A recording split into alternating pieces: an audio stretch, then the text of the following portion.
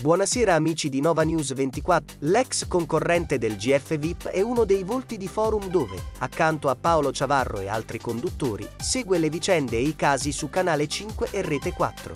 Non solo la televisione, ma anche la radio per Donna Maria, che è speaker su Radio Z.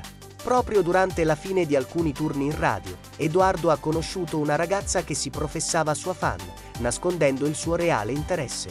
Il ragazzo si sarebbe trovato di fronte alla ragazza che avrebbe iniziato ad offendere la storia d'amore dell'ex Geffino e a criticarlo perché non avrebbe dovuto pubblicare la sua ultima canzone che conteneva riferimenti alla relazione con Antonella sua ex fidanzata. È stata un'esperienza non molto carina. Sono tornato a casa che tremavo dall'ansia punto, sono stato aggredito da questa persona con la scusa di portarmi un regalo sotto la radio. Ha raccontato Donna Maria, rivelando che la ragazza lo avrebbe poi accusato di averlo a sua volta aggredito punto.